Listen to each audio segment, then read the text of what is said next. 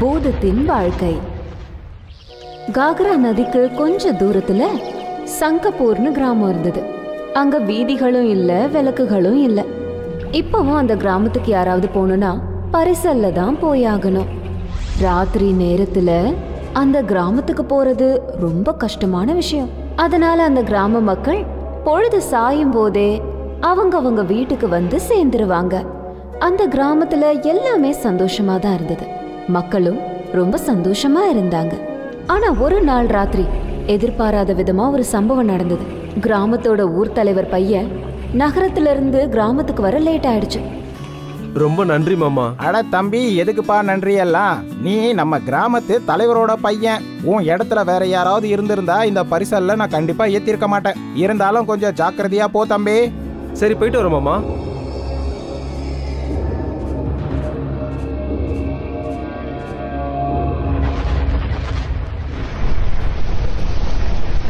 காப்பாத்துங்க காப்பாத்துங்க கா- காப்பாத்துங்க. ஆ! ஆ!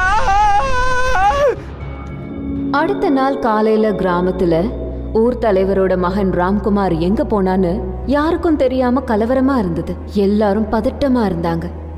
எனக்கு தெரியாத ஊர் தலைவரே பரிசல்ல இருந்து இறங்கி அவரு நேரா கிராமத்துக்கு தான் வந்தாரு.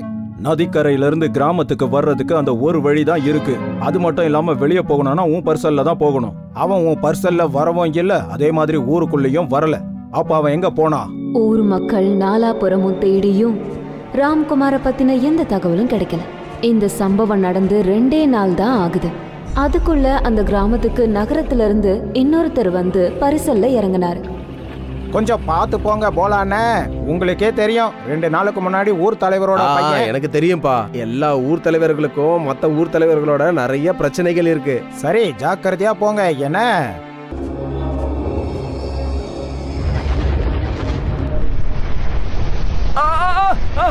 காப்பாத்துங்க காப்பாத்துங்க காப்பாத்துங்க.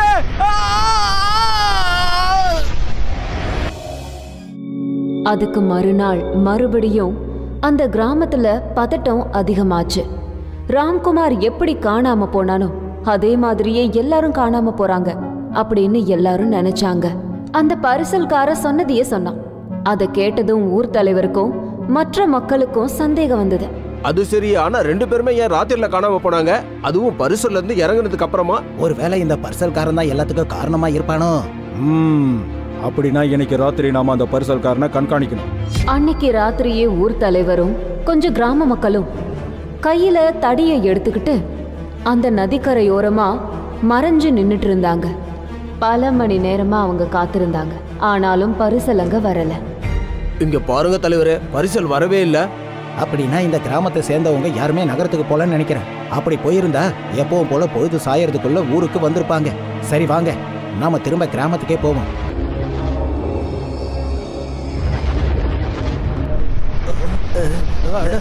தலைவரே தலைவரே அந்த கலவரத்துல தப்பிச்ச ஒருத்த மட்டும் ஓடி வந்து கிராமத்துல எல்லார்கிட்டயும் நடந்ததை சொன்னான். அவன் சொன்னதை கேட்டு ஆச்சரியப்பட்டாங்க. அப்படி எதுவும் நடந்திருக்காதுன்னு சொன்னாங்க. அவன் சொன்னதை கேட்டதுக்கு அப்புறம் நகரத்துல டிகிரி முடிச்ச வினோத் என்ன சொன்னானா? நடந்த சம்பவத்துக்கு பின்னாடி மிகப்பெரிய ரகசியம் இருக்கு.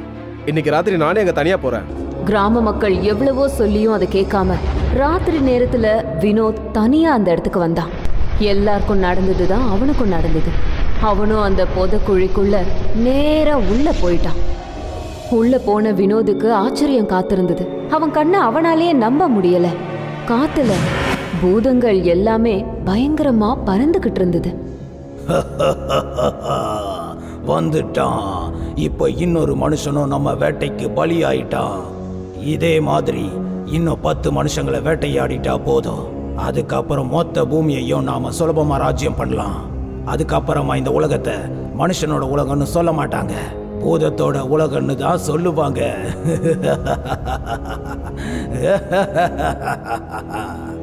இவனையும் மற்றவங்க இருக்கிற இடத்துல கொண்டு போய் விட்டுடுங்க.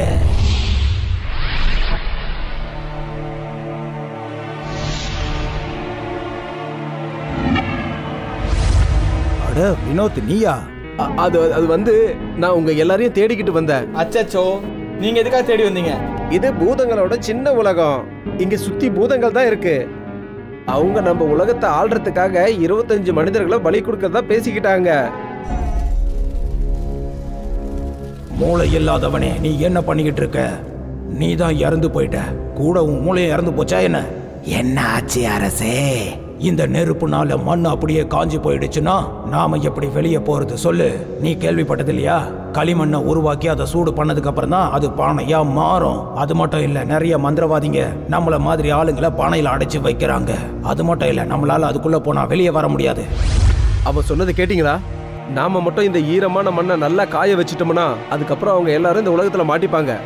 ஆனா இந்த மண்ணை நாம எப்படி சூடுபடுத்துறது? இங்க பாருங்க எப்படி ராத்திரி இந்த மண்ணு புதக்குழியா மாறுதோ அந்த நேரத்துல குதிச்சு நாம வெளியே போயிடலாம். அப்புறம் மரத்தோட கிளைய பிடிச்சு மரத்துல ஏறிடலாம். பூதங்கள் இந்த உலகத்தை விட்டு வெளியே வர்றதில்ல. நம்ம உலகத்துல இதுங்களோட சக்தி வேலை செய்யாது. நம்மள ஒண்ணும் பண்ண முடியாது. அவங்க சொன்னபடியே ராத்திரி மண் எப்போ புதக்குழியா மாறுதோ அப்போ வினோதோடைய சைகைப்படி எல்லாரும் அந்த புதக்குழிக்குள்ள விழுந்து தப்பிக்க முயற்சி பண்ணாங்க. அத பார்த்ததும் பூதங்களின் தலைவன் கத்தினான். எல்லாரையும் போய் புடிங்க.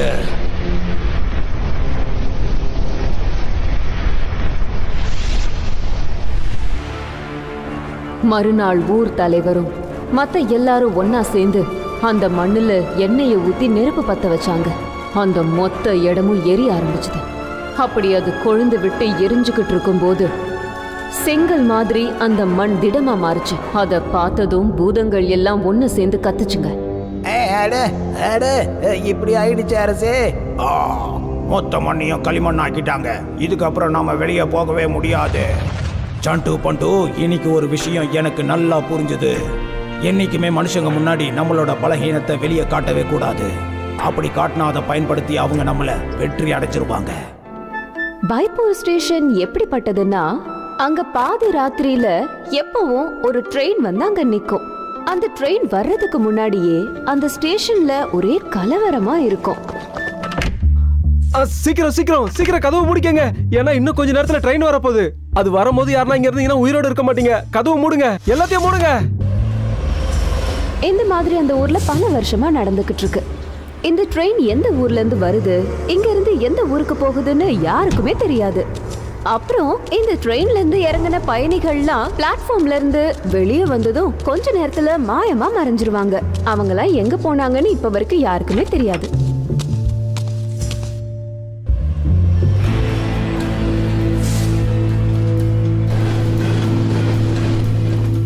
இப்படி ஒரு நாள் ஒரு நாள் ராத்திரி அந்த ட்ரெயின் வர சமயத்துல எப்பவும் போல டிக்கெட் கவுண்டர்ல இருக்கிறவன் ஜன்னலை மூட ட்ரை பண்ணும்போது திடீர்னு ஒரு ஆள் வந்து அவனை ஜன்னலை மூட விடாம தடுத்தாரு. அட ஜன்னலை மூடாத தம்பி. இந்த ஊருக்கு எந்த ட்ரெயின் முதல்ல வருமோ அதுக்கு டிக்கெட் கொடுப்பா. உங்களுக்கு சாகணும்னு ஆசையா இருக்கா? இப்ப வரப்போற ட்ரெயின் இருக்கே அது எங்கேயும் போகாது. அது போனதுக்கு அப்புறம் நாலு மணி நேரம் கழிச்சு ஒரு ட்ரெயின் வரும். இங்க பாருப்பா என்னால நாலு மணி நேரம்லாம் வெயிட் பண்ண முடியாது. ப்ளீஸ் டிக்கெட் கொடுப்பா. நீ சொன்னா கேட்க மாட்ட. குடு. இந்தா. இங்க இருந்து கிளம்பு தம்பி ஒரு டீ கிடைக்குமா? ஒழுங்கா இங்க இருந்து போயிடு. உனக்கு டீ இல்ல. ஒரு கிளாஸ் தண்ணி கூட நான் தரமாட்டேன். போயிடு. ஆனா இப்ப வர ட்ரெயின்ல இங்க இருந்து நான் போயாகணுமே. ஏய் இப்ப வர ட்ரெயின்ல யாரும் ஏறி போக மாட்டாங்கப்பா. இங்க பார் உனக்கு உயிர் மேல ஆசை இருந்தா இங்க இருந்து ஓடி போய் எங்கேயாவது தப்பிச்சுக்க. என்ன? போ. போ போ. முதல்ல இந்த இடத்த காலி பண்ணு.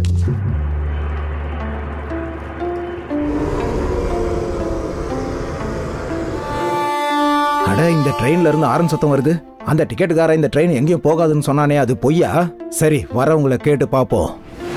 ஆ, இந்த ஆளுங்கள எங்க போனாங்க? அடடா ட்ரெயின் வேற கிளம்பிருச்சே. நான் போக வேண்டிய ஊரு அடுத்த ஸ்டேஷன் தான். கண்டிப்பா அதனால இந்த ட்ரெயின் அந்த ஸ்டேஷனுக்கு போகும். ஏய் நீ எங்க போயிட்டு இருக்க சாவ தேடி போயிட்டு இருக்கியா இங்க பாருங்க தம்பி நான் அடுத்த ஸ்டேஷனுக்கு தான் போகணும். இங்க இவ்வளோ பேர் இருக்காங்களே அப்போ நிறைய பேர் இந்த ட்ரெயின்ல பயணிக்கிறாங்க போல. அப்படின்னா இந்த ட்ரெயின் அடுத்த ஸ்டேஷனுக்கு போகும். நீ எங்களை கொல்றதுக்காக வந்திருக்கியா? இல்லனா நீ எங்களை உயிரோட எரிக்க வந்திருக்கியா? உன்னால எங்க எல்லாரையும் ஒன்னும் பண்ண முடியாது. ஏன்னா எங்க கடவுள் எங்க கூட இருக்காரு. நாங்க சாக மாட்டோம். நீதான் சாக போற. நீதான்.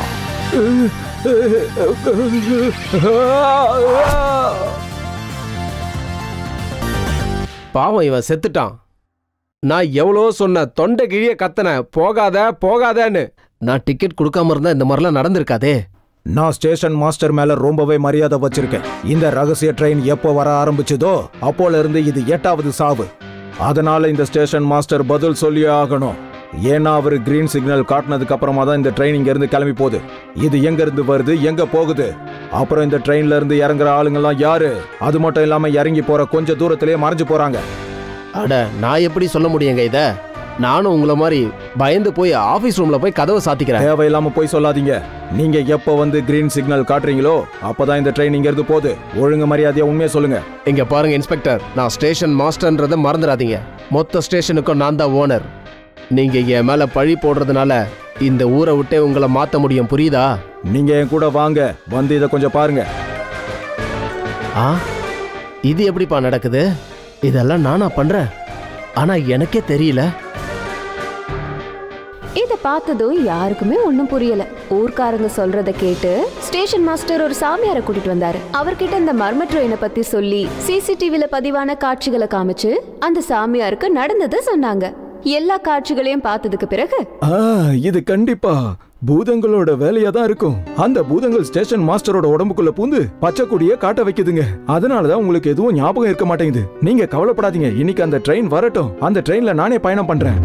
எப்பவும் போல பாதிராத்திரியில ட்ரெயின் வர சமயத்துல எல்லாரும் ரூமுக்கு போய் கதை அடிச்சுக்கிட்டாங்க. கடைகளையும் மூடிட்டாங்க. சாமியார் ஒரு இடத்துல ஒளிஞ்சிருந்து நடக்கிறதெல்லாம் பார்த்தாரு. அப்பதான் அந்த மர்ம ட்ரெயின் வந்தது. அதுல இருந்து பயணிகள் இறங்குறத சாமியார் பார்த்தாரு. அவங்க எல்லாம் போனதுக்கு அப்புறம் ஸ்டேஷன் மாஸ்டர் மெதுவா வெளியில வந்து ட்ரெயினுக்கு பச்சை கொடியை காட்டினாரு. ஹார்ன் அடிச்சுக்கிட்டே ட்ரெயின் கிளம்பும் போது மறைஞ்சிருந்த சாமியார் ஓடி வந்து அந்த ட்ரெயின்ல ஏறிக்கிட்டாரு. நீ எங்களை கொல்ல வந்திருக்கியா? இல்ல எங்களை உயிரோட எரிக்க வந்திருக்கீங்களா? நம்மள கோயில் கட்டக்கூடாதுன்றதுக்காக இந்த மந்திரவாதி அனுப்பி வச்சிருக்காங்க. ஆனா நம்ம கூட நம்ம கடவுள் இருக்காரு. இன்னைக்கு நாங்க இந்த ஊர்ல கண்டிப்பா கோயிலை கட்டியே தீருவோம்.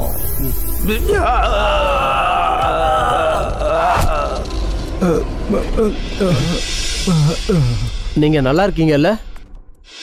நீங்க யாரும் எதுக்கும் கவலைப்படாதீங்க. இவங்கெல்லாம் பக்தர்கள். இங்க இருந்து நாலு ஸ்டேஷன் தள்ளி ஆஷாப்பூர்ல கோயில் கட்டுறதுக்கான போராட்டத்துக்கு போயிட்டு இருந்தாங்க. ஆனா எதிரிங்க இவங்கள கோவில் கட்டக்கூடாதுன்னு ட்ரெயினோட சேர்த்து எரிச்சிட்டாங்க. அதனால யாரு ட்ரெயின்ல ஏறினாலும் அவங்கள எதிரியாவே நினைக்கிறாங்க. அது மட்டும் இல்ல அவங்கள எரிக்க தான் வந்திருக்காங்கன்னு அவங்க நினைக்கிறாங்க. அதனாலதான் அவங்கள அவங்க கொண்டுடுறாங்க இதுக்கு ஏதாவது கண்டிப்பா தீர்வு இருக்கும்ல சுவாமி? இல்ல இந்த மாதிரி எல்லாரும் செத்துக்கிட்டே இருக்க வேண்டியதானா அந்த கோவில் மாதிரியே ஒரு கட் அவுட்டை ரெடி பண்ணி இந்த பிளாட்ஃபார்ம்ல கொண்டு வந்து எல்லாரும் வச்சுட்டு போங்க. ட்ரெயின் கிளம்பி போகும்போது நான் என்ன சொல்றேனோ அதுபடி நீங்க எல்லாரும் நடந்துக்கோங்க. சாமியார் என்ன சொன்னாரோ அதை அப்படியே அவங்க செஞ்சாங்க. ரொம்ப அழகா ஒரிஜினல் கோவில் மாதிரியே கட் அவுட்டை ரெடி பண்ணி அதுக்கு அலங்காரமும் பண்ணி பிளாட்ஃபார்ம்ல கொண்டு வந்து வச்சாங்க. எல்லாரும் மனசுக்குள்ள ஒரு விதமான தைரியத்தை வரவழைச்சுக்கிட்டு ட்ரெயினுக்காக காத்திருந்தாங்க. ட்ரெயினும் அங்க வந்துச்சு. ட்ரெயின் பிளாட்ஃபார்மை நெருங்கி வரும்போது அங்க இருந்தவங்களும் பயத்துல நடுங்கிட்டு இருந்தாங்க. எனக்கு இப்ப ரொம்பவே பயமா இருக்கு. ஷூ அமைதியா இரு. சாமியார் சொன்னதை மறந்துட்டியா? நம்ம முகத்தை சந்தோஷமா வச்சுக்கணும். ஆ.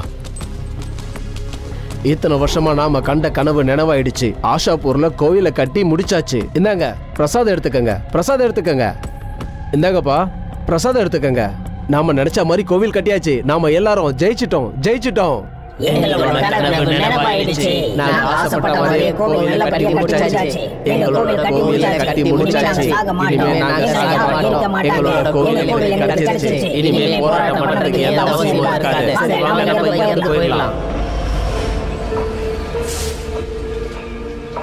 அதுக்கப்புறமா பைப்பூர் ஸ்டேஷன்ல எல்லாமே நல்ல விதமா மாறிடுச்சு. அந்த ட்ரெயின் வர்றதும் நின்னு போச்சு. அதனால சாமியாருக்கு நன்றிகளையும் சொன்னாங்க. அப்ப சாமியார் சொன்னாரு இங்க பாருங்க ஒரு விஷயம் ஞாபகம் வச்சுக்கோங்க. மனுஷனோ இல்ல பூதமோ அவங்க ஆசை நிறைவேறாத வரைக்கும் அவங்க இப்படிதான் உலகத்துல அங்க இங்கன்னு அலைஞ்சுக்கிட்டே இருப்பாங்க. அவங்களோட ஆசை என்னைக்கு நிறைவேறுதோ அதுக்கப்புறம் அங்க இங்கன்னு அலையிறது எல்லாமே அப்படியே நின்னு போயிடும்.